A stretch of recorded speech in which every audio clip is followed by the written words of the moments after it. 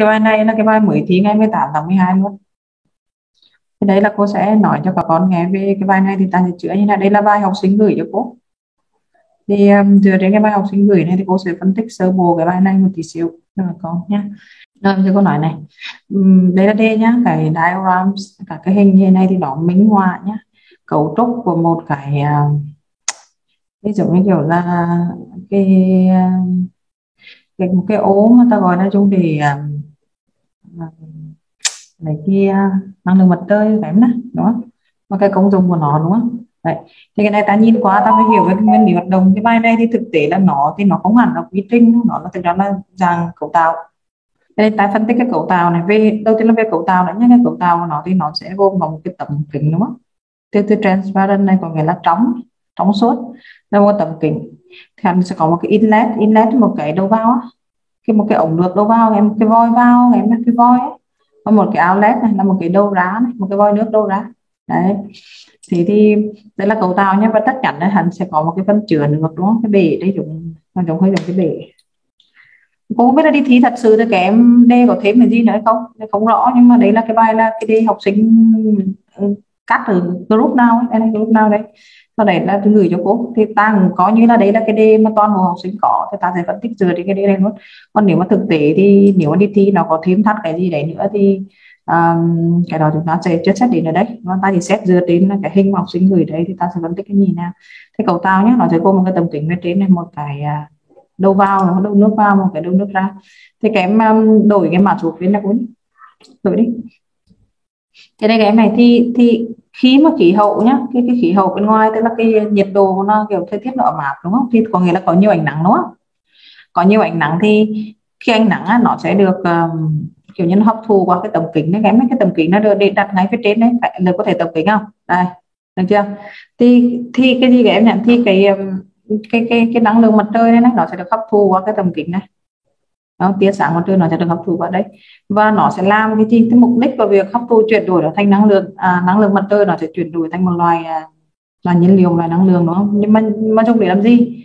Em nhìn này cái nước này cái đầu vào này này khi mà cân á khi mà cân đúng không? Thì nước nó sẽ được uh, cái um, cái inlet cái cái nước nó sẽ được cho vào trong cái bể chứa này và cái đâu cái nước khi mà đi ra cái cái nước đâu vào ta thấy là một cái lên nước. Ở à, đấy người ta dùng từ water bình thường đúng không? Nhưng mà khi mà nước ở đâu ra thì ta thấy nó là ấm á. Tức là nó đã cái năng lượng này nó đã chuyển đổi cái nước lạnh á. Nó thành cái nước ấm nữa. Đó thì cái quy trình hoạt động của cái này nó rất là đơn giản thôi. Cấu tạo của nó thì nó cũng chỉ gồm một cái tấm kính đặt phía trên này. Rồi có hai cái đường ống đúng không? Và một cái bể chứa đó là về cấu tạo của cái cái này đúng không? Còn về cái cơ chế hoạt động của nó chức năng chính của nó đấy là nhìn chung người ta sẽ thấy nó sẽ chuyển đổi nước từ nước lạnh thành nước nóng đúng không? Đó là chức năng chính. Và cơ chế hoạt động thì à, chỉ là hấp thu ánh nắng mặt trời đúng không? Biến cái năng lượng mặt trời này cái ánh nắng ánh sáng mặt trời này thì thành nhiên liệu. Và chung quanh nhiên liệu này là để nó làm ẩm nước thôi. À, nó nó làm ẩm nước đúng không? À, đó là cái cái quy hoạt động. Thì với những cái bài như thế này thì thông thường khi mà chúng ta viết thì chúng ta sẽ thường khi mà mô tả về cấu tạo ấy ta sẽ thường gồm nói là nó gồm có mấy bộ phận đó câu đầu tiên nó sẽ nói về nó gồm một bộ phận đúng không? Và cái thứ hai thì các con sẽ nói thêm cho cô một tí xíu về cái công dụng. Ở đây có có một phần là công dụng của nó tức là cơ chế hoạt động của nó. À, thì cái này em tách trong hai đoàn như vậy. Một đoàn em nói về cấu tạo và một đoàn thì em nói về cơ chế hoạt động của nó nha. Cấu tạo và cơ chế đồng em tách trong hai được. Nhưng mà có nhiều bạn thì người ta lại chọn lừa là nói chung mà lông á. Vừa lông cấu tạo lại vừa lông về cơ chế hoạt động nữa nên tuy nhưng mà khi mà thường thường cô viết những bài nên thì cô thường tách. Tức là cô sẽ mô tả cấu tạo trước sau đấy đoạn hai cô bắt đầu mới đi vào cái cơ chế hoạt động của nó. Cái chuỗi cái quá trình mà nó sản sinh năng lượng mà nó sử dụng cái năng lượng này thì là làm nóng nước như thế nào ấy. Đấy. Thì, thì bây giờ ta đi vào chi tiết nha. Và cô có phân tích qua cái hình rồi. Nên ta sẽ đi chi tiết vào việc là ta sẽ phân ta sẽ viết cái bài này là như thế nào nó sẽ phóng to cái này ra một chút xíu mà rất là dễ nhìn. Nếu mà cô lúc cô lúc nãy vừa nói thì con cũng đã hiểu qua quá rồi, thì bài này ta sẽ, nếu là cô thì cô sẽ trong cái phần overview. Cái phần overview nó rất là quan trọng. Overview nhận xét chúng của em đó nhận xét chúng. Phần này nó, bài này thì em không cần kết bài. Dạng bài này thì không cần kết bài vì cái phần overview này thì nó giống như là đóng vai trò như là tóm tắt khái quát thôi vì nó đóng vai vai trò như là tóm tắt khái quát nhé cho nên là những cái gì mà thể hiện trong overview á trong cái khái quát này này à, nó sẽ được chi tiết và cụ thể hóa cụ thể hóa trong thân bài. Đó. Thì lưu ý cho cô nhé overview là ta nói chung nó khái quát và thân bài chính là ta nói cụ thể những cái ý trong overview Đấy, lập lưu ý cho cho cô cái cái cái đoạn này. Thì như lúc nãy cô có nói về những cái bài mô tả cấu tạo như thế này á, thì được sẽ nói cho cô uh, một câu là về cấu tạo. Nó gồm mấy một phần và một câu về cái nguyên lý hoạt động của nó đâu vào của nó là gì và đâu ra của nó là gì. Đấy nha. Thì chúng ta sẽ xem này ở đây thì cô sẽ viết như này này cái đô thị này nhé đây sẽ là hai đô thị đúng không? Hai hình đúng không? Diagram này. Minh họa cách mà một cái uh, solar panel à, cái này cũng là một cái loại à, một loại thiết bị mà chúng ta hấp thụ năng lượng mặt trời đúng không? Nó làm nó, nó hoạt động như thế nào? Và nó đã được, được sử dụng như thế nào để để để làm nóng nước đúng không? Đây là cô nói hai ý một cái là về à, à cái này đến nói thêm ý là ok thì cũng tạm được. Mà này chẳng lẽ là sẽ dùng cái câu là nó sẽ được cấu tạo như nào thì nó hay hơn? Nên cũng tạm tạm tạm được. Nhìn chung này thì rõ ràng ràng từ này có nghĩa là rõ ràng ràng. Cùng từ này thì nó chỉ là cùng từ nhấn thôi. Nhá em còn bỏ đi cũng được. Nhưng mà thông thường với những cái bài mà ta liếc quá thì đây thì ta sẽ nghĩ ngay là nó có nguy cơ là bị bị bị, bị ngắn đấy thì với những bài mà có nguy cơ bị ngắn như thế này thì em lưu ý cho cô là ta thường tiến thư thưa. Nhá tiến thư thưa cái kiểu như này là thư thưa này. Rõ ràng rằng cái máy cô nói là cái máy này là một cái loại máy mà à, quan điểm của cô là nó khá là đơn giản. Nói chung là cái máy tức là cái từ solar uh, panel cái, à, cái, cái từ cái từ này rất là khó paraphrase và để để để để để xử lý cái từ đó à, uh, paraphrase cho nó thì cô đã quyết định sử dụng một cụm từ là cái máy cái cái cái cấu tạo của cái máy đơn giản này. Thì nó sẽ bao gồm bốn bộ phận chính nhá là nó sẽ gồm có một tấm kính này một cái bể chứa này và một cái um, cột nước vào này và một cái ống nước ra. Đúng không? Cấu tạo nó gồm bốn phần đúng không? Ý một của cô có thể nói cấu tạo á thì hai thì cô sẽ nói về cái cơ chế hoạt động của nó. Thì à, thêm vào đó cũng rõ ràng rằng đấy cũng là một tư thưa con bỏ ra cũng được. À, nhưng mà cô đã nói rồi mục đích tại sao chúng ta đưa cái này vào phần này là bởi vì cái bài này nguy cơ rất cao là bị ngắn nhá. Ta liếc một cái là ta biết nó ngắn hay không liên mà. Dữ liệu nó ít đấy thường là nó sẽ có nguy cơ bị ngắn. Thì nên thêm tư thưa nhá. Nó cũng rõ ràng rằng thì cái cái thiết bị mà ta gọi là dựa trên ánh sáng mặt trời như này đến một cách của paraphrase cho cái từ là solar panel nhá. Có cách đây là cách của paraphrase cho nó nhá. dựa trên nguyên tắc cái thiết bị mà được vận hành dựa trên cái ánh sáng mặt trời như thế này thì nó sẽ đóng vai trò chủ yếu là giống như là một cái máy đun nước ấy. đóng vai trò chủ yếu như là một cái máy đun nước đúng không? Và nó sẽ làm cho nước uh, phù hợp hơn nữa cho các cái nhu cầu sử dụng. Đấy, mình hiểu cách nôm na là như vậy. Ở đây thì câu này cô đang tạo một câu phúc thôi bằng cách là um, cô sẽ rút gọn chủ ngữ đúng không? Và đồng tư về sau là cô dùng với bên được chưa nào? Nguyên tắc viết của chúng ta nó không sai câu đơn. Tất cả đều phải câu phức cả được chưa? Nên các em để ý này. Cô có sử dụng câu đơn đâu nó bao gồm cái gì này? Bao gồm có mấy cái này. Cụ thể chi tiết là như thế nào này đúng không? À, ta sẽ tạo câu dài nhé tuyệt đối không tạo câu ngắn. Rồi đó là cô khái quát. Đọc cái này thì các em sẽ thấy là trong thân bài cô sẽ triển khai hai ý. Một là cô sẽ mô tả cấu tạo là bốn phần thì bốn phần nó là như thế nào nữa và ý thứ hai thì cô sẽ nói về cái công năng của nó là nó đóng vai trò như là một cái máy đun nước như thế nào? Tức là cái cái cái cái nguyên lý hoạt động của nó là sao để làm cho nước nó nó nó có thể sử dụng được đúng không? Và được nó có thể sử dụng và phù hợp hơn được. Này, đoạn 1 thì cô bắt đầu nói về cấu tạo của nó và đoạn 2 thì cô sẽ bắt đầu đi chi tiết vào cái việc là quá trình chuyển đổi nước nhé này đây là tiếp tục một tư thưa các em có thể nhìn thấy trong đô thị đang đây là tư thưa. Và cô nói với các em là tại sao chúng ta dùng cái bài này có nguy cơ? Rất cao là bị ngắn.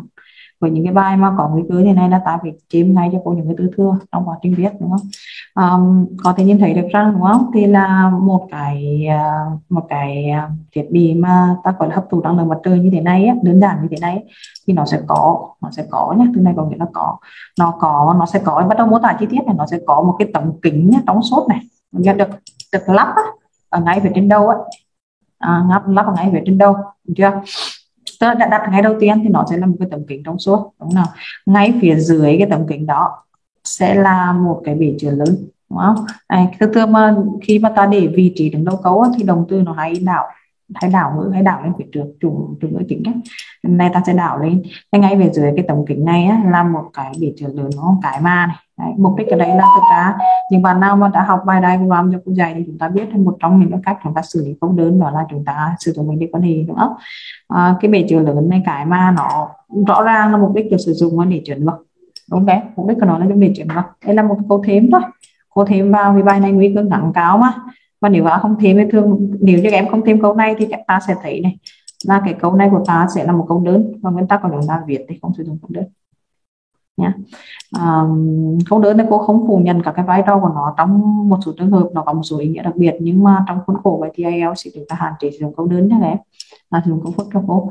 Và tiếp tục cô tiếp tục mô tả nhé thì um, thì nó sẽ có một cái đầu nước vào ấy ở một phần một bên của tức là một cái đầu của bể chứa đúng không? À, và song song với điều đó thì sẽ có một cái đầu nước ra được thiết lập ở ngay ở cái phía đầu đối diện là ở cái, ở phía bên kia các em nhìn lên đây. Một có một đầu, một hướng đúng không? Và một cái gì các em nhận ở cái đầu bên kia. Được chưa? Và tiếp tục này, vẫn là một cái quan điểm cũ thôi. Tức là cô sẽ phẩy với anh khi mà cùng chủ ngữ thì cô sẽ thường phẩy và cấp anh để làm gì để tạo một không dài.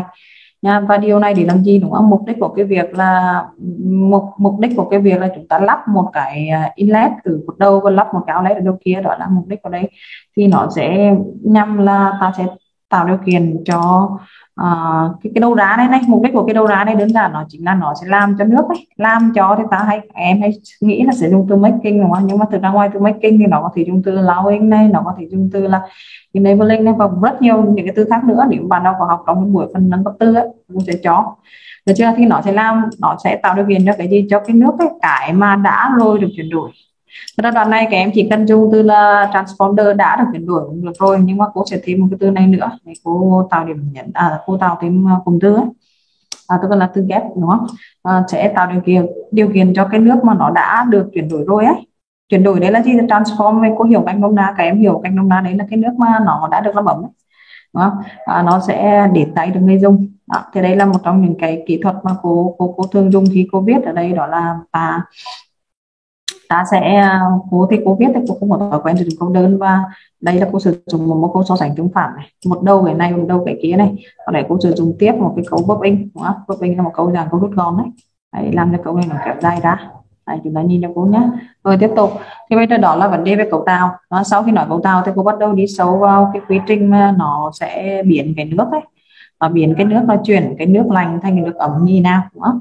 thì liên quan đến chức năng chính của nó này thì cái nước này cái công cụ mà đun nóng nước này này đấy là cô đang paraphrase cho cái gì cả? Lúc có biết không? Cô đang paraphrase cho từ này này. Từ này rất là khó paraphrase đúng không? Được để cô không nhận là nó rất là khó paraphrase không? Thì cô đang cố gắng để paraphrase nó ha. Đây. À, sẽ có một số cách verify thì cô còn nói đây hay là như thế này đúng không? Và đây sẽ là cái công cụ đun nước như thế này. Thì nó sẽ được sử dụng khi mà nhá à, bên ngoài trời là ấm áp vì sao? Vì đơn giản có ấm áp. Bởi vì này, bởi vì là những cái những cái thời tiết ấm áp thì mới có nhiều. Nó ở ban đơn là chính là nhiều đi, có nhiều tia sáng mặt trời. Chứ chứ ví dụ như mưa, mù thì sử dụng cái này thì nó không được, vì nó sẽ không có ánh nắng, đúng không? Không có ánh nắng thì nó sẽ không có và nó không chuyển đổi được. Em mới hiểu đúng không nhân như vậy là khi mà trời ấm áp ở bên ngoài thì đấy là hẳn có một thông tin. Đấy đấy không phải là cô đưa vào, mà hẳn có trong thông tin trong vai ấy khi mà thời tiết ấm áp thì cái máy này nó sẽ được sử dụng và nó sử dụng như nào? Bởi vì sao? Bởi vì đơn giản là vào thời tiết ấm áp như thế này thì mới có rất nhiều tia sáng mặt trời đúng không? Đây thì các em lưu ý cho cô này.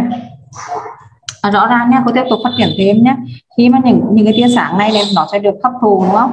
À, xuyên qua các cái em nhà các cái tấm kính ấy cái tấm kính cái này ta nhớ là có tấm kính đúng không? Thì ánh sáng nó sẽ được hấp thụ. Và sau đó nó sẽ được chuyển đổi thành năng lượng đúng không em? Cái năng lượng cái này thì đáng lẽ là hẳn sẽ có có nghĩa là nó sẽ có một thiết bị gì đấy để chuyển đổi thành năng lượng nữa. Nhưng mà vì bài này nó không có thông tin nên cô quyết định là không đưa cái thông tin thừa và bởi vì nó không có thông tin phù ấy người ta sẽ eh, thể hiện đúng những cái gì mà nó có trên cái bài này. Vì thực tế là bài thi IELTS không phải là bài thi khoa học. Tức là nó không không, nó không yêu cầu cái tính chính xác tuyệt đối trong cái bài viết được em. Thay vì đó là người ta muốn chấm tách kém sử dụng ngôn ngữ đó thì đoạn này cô đang nói là cô đang sử dụng ngôn ngữ ở đây là à, những cái tia sáng mặt trời sau đó thì nó sẽ được hấp thu đúng không? Xuyên qua những cái tấm kính này này. À, và nó sẽ sau đó nó sẽ được chuyển đổi thành năng lượng đó. khi mà khi mà nhu cầu cho nước ấm là nó tăng ấy thế mà khi mà có nhu cầu cho nước ấm nhá thì cái nước lạnh hơn nhá cái thì mà nước lạnh hơn đúng không? Nó sẽ được à, nó sẽ được mở tức là nó sẽ được chảy cái này nó sẽ chảy qua nó sẽ chảy qua cái cái đây là cái inlet đúng không? Cái đầu vào đúng không? Cái đầu vào cái cái voi vào kém á thì nó sẽ được um, chảy xuyên qua một cái voi vào vào cái bể chứa đúng không? Nhưng mà khi mà nó vào cái bể chứa rồi thì nó sẽ được nung nóng lên nó sẽ được làm ẩm lên nung sôi lên nữa bằng cái loại năng lượng này từ nay đã cố thực sự chưa thích lắm. Anh em có thể bỏ cũng được nó sẽ được nung nóng lên. Cho đến khi nhá nó đủ ấm nhá để có thể được sử dụng. Cho đến khi đúng không? Nó sẽ được đủ ấm này và đoạn này như bạn nói là cô nếu em bổ sung thêm một từ là nó được đủ ấm đúng không? Và được gì em nhà phát sao? Tức là nó sẽ được đẩy đá để sử dụng cũng được. Nó có nghĩa đoạn này thì đến đấy cũng tạm tạm rồi đúng không? Nó đủ ấm để nó được sử dụng thì đấy là cái quy trình này. À, có thể tạm dừng đấy còn những mà em muốn viết tiếp thì mình sẽ nói là nó đủ ấm nhé. À, và được đúng không? Và được thì kém chảy ra ngoài. Và nó sẽ được vận chuyển á. Nó sẽ được này. Đủ ấm này và nó sẽ chuyên đi đó tới à, tay người dùng đó thông qua cái gì vậy nè dialect cái đó à, thì cũng được. Nha nhưng mà cô thì cô cũng muốn là cái đoạn này à, à, cho đến khi nó đủ ấm á và và và nó sẽ được để được. To be đó, nó sẽ được là chuyển tới ha. Tay người dùng thông qua cái cái lối ra bên ngoài đây các con hiểu này không? Đấy thì cô đã vừa tóm tắt qua cái bài bài bài viết bài à, bài viết của ngày thứ 18 tháng 2 thực tế mà nói là cái ngày thứ 18 tháng 2 vừa rồi á thì học sinh bài viết task 2 thì hình như là không khó cũng dữ lắm nữa vì học sinh không kéo đi về thì các con không nói gì về cái task 2 thì có nghĩa là task 2 các bạn xử lý được. Nhưng mà cái task 1 này thì uh, có nhiều bạn có kêu là bảo là nó khá là mất thời gian. Theo các em thì cái bài này nó có khó không? Để mà làm được bài này thì cái đầu tiên là với những cái dạng bài này thì ta phải hiểu được cái cấu tạo. Đấy là dạng bài cấu tạo. Gọi là dạng bài cấu tạo mà nó đi kèm vào một bài quy trình. À, quy trình ở đấy là cái quy trình mà ta chuyển đổi á. À, nguyên liệu đồng nó ta chuyển đổi cái nước à, nước lành thành nước ấm đúng không? và cái này thì thực tế là như cô phân tích từ đầu á các em hoàn toàn có thể là uh, so lé cả về cấu tạo và cả về quy trình làm nước luôn. Hoặc là như cô vừa làm lúc nãy là tách ra tách ra tức là em tách cấu tạo em nó một đoàn và em kết hợp cái quy trình à, làm đun đun đun đậm nước thành một cái đoàn khác. Thực tế là nếu như em kết hợp hai cái đoàn này lại với nhau với bài này thì có khả năng là bị ngắn. À, cho nên là cô cái dùng vi như thế cho nên là cô đã quyết định là cô sẽ tách nó ra. Nhá chúng ta sẽ tách nó ra các em. Thành hai đoạn được chưa? Để à, trong cái bài nó dài hơn. Thì khi mà gặp những cái bài như thế này thì được lưu ý cho cô là đầu tiên ta cần nói cấu tạo cho cô trước sau khi nói cấu tạo thì mình có thể nói về nguyên lý. Hoặc là mình lông và hái nếu bài có nhiều trị liệu thì em lông và hái thì nó hay hơn đó nhưng mà bài trị liệu thì nên tách nhá. Rồi, hôm nay đến đây đến đây thôi nhỉ